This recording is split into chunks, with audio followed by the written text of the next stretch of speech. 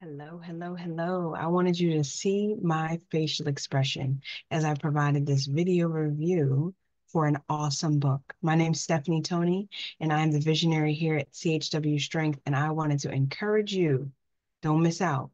I encourage you to purchase Public Health Entrepreneurship, Navigating the Intersection of Purpose and Profit.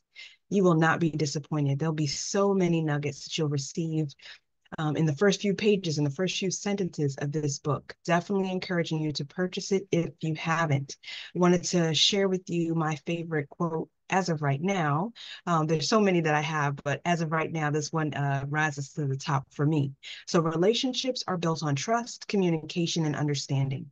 My first goal when working with clients and stakeholders is to establish trust.